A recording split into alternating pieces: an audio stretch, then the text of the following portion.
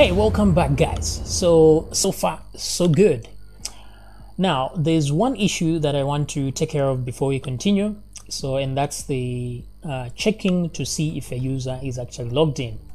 Okay, so uh, right now we don't have an index page. So, if I go to my folder, the timeline.php, let me rename that to index.php. So, that's the home page of our website for now right? And then if I go to, I get the profile.php. So if you, let me log in first. So let me use one account to log in, say one, two, three, four, five, six, seven, eight as the password and log in. All right, so I've logged in there. Very nice. Now, if I go to my uh, profile.php, if you look at the top here, we have this entire section that checks if the user is logged in. Okay, this is all well and good. However, the problem is we have to do this in every single page. So the disadvantage of copying, and we can simply copy this data and paste in every other page. So for example, here the index.php, I want to be able to check if the user is logged in. If not, I redirect them to the login page. So to do that, I'll have to copy this code onto there as well. Now this is fine the only problem is if I find out later on that I need to change something here, it means everywhere I had copied it, I'll need to go back and change. Now that's not very efficient, especially if you're running a very big website. So it would be better to make your code in such a way that you change in one place and it changes everything. So here we just need one line to check if the user is logged in and that's it. So if we look closely here, the class that we are using to check if we are logged in is called the login class. So let's simply cut this information and paste it in the login class itself. So I'm going to copy all the way from here where it says check if user is logged in up to the last header location, uh, this redirect up to the end here. I'm going to copy all these things here and I'm actually going to cut these things. So cut so that we remain with posting stats here okay? So now I'm going to the login.php now this is a class in the classes folder login.php that's the one I'm editing right now. So in here we have two functions. We have this is the login class. We have evaluate and we already have one that says check login. So we might as well simply utilize this function right here. So let me go down here after return false and paste the data that I had cut from the other side. And then I'm going to select it again and tab it in so that we can uh, see properly like so. Now I won't be needing the session data from here like I said. It's not good to use global variables inside classes so I'm going to simply cut this entire section here because I don't need it and paste it here where I might need it in the profile.php page put a semicolon. This is only temporarily uh, data so I'm going to comment it out like that. All right so now that I've removed this we are supplied an ID at the top of the function. So we're going to utilize this ID instead. So we're going to check if the ID is numeric. So I'll paste that there. So if is numeric now, we don't want to run any of this if the data is not numeric. So let me move this to the very top. Tab and move this back just to be neat. And then I'm going to tab everything inside like so. Okay, so let's see what else we're going to change. So if everything is good, if it's numeric, good. If not, uh, we're going to have to redirect to the login page, which is good. And then when we come in here, we are saying select user ID from, uh, we are selecting from the user to check if the user exists, opening up the database. So this is all good. Now, if everything is good, uh, I'm sorry, if, if, if everything is false, instead of returning false, we just have to redirect the user. So to do that, I'm going to copy this redirect part right here okay and come up here where it says return false and instead put the else statement redirect. So return false is useless. And then if everything is true, we're supposed to go and check this. Check if user is logged in. So ID, we don't need to define it anymore since it comes in from the function. So delete that. Now, instead of using another uh, class in here to read the actual data, since we are already reading from the user's table, we might as well, instead of just getting the user ID, which we were getting here, let's get the entire row. So we're going to put the star to re represent all columns. So select all columns, okay? So we don't need this anymore, this part anymore because this very login class is the same class we are editing. So we don't need to uh, to call it to create it in here. And also we don't need to call this function anymore since this is the very function that we are editing. So we are already inside the function. So let me delete that as well. And then we don't need to check if result since we're already checking here if the result is correct. So let me see result and then there's the else statement for that, that result. So I need to delete that as well and delete the if result as well. Now retrieve user, user data, we don't need to do that anymore since we're already retrieving the entire row. So that goes as well. Get data goes as well.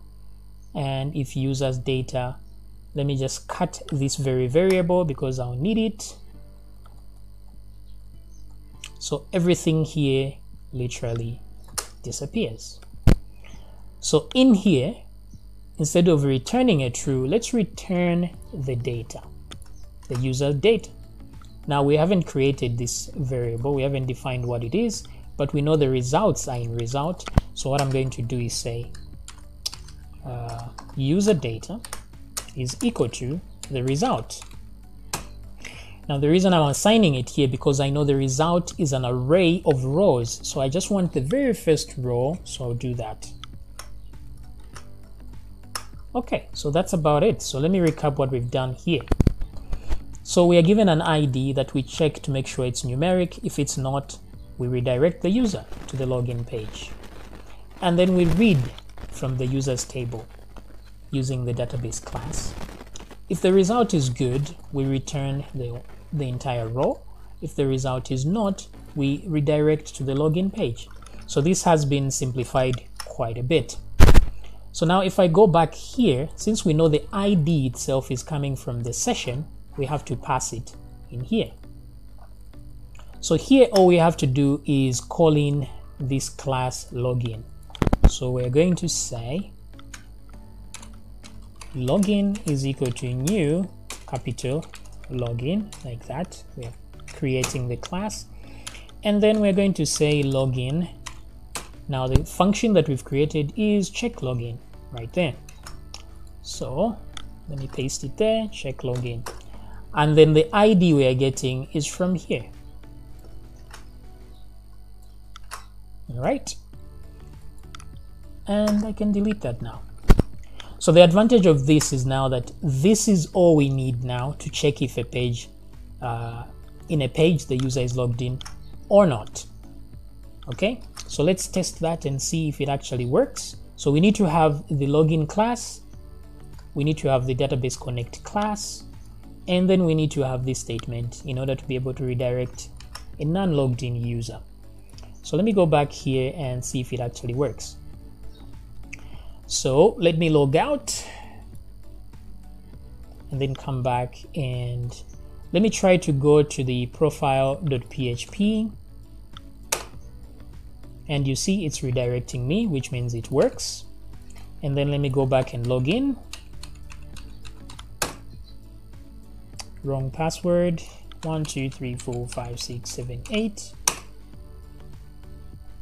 All right so here we go. So now we got a couple of errors here saying unidentified variable user data.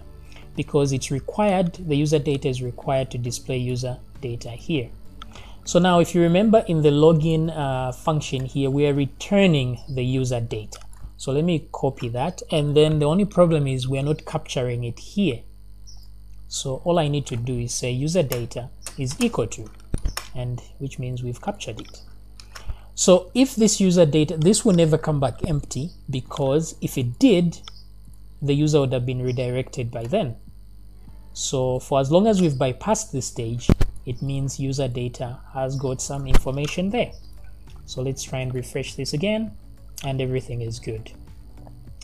So now that we've created a timeline index page as the timeline page, so let's try and redirect to that one and see what happens. So in this case, I'm going to drag index.php into the here, and then I'm simply going to add some PHP tags like that. And then I'll go to profile.php and copy this entire section here.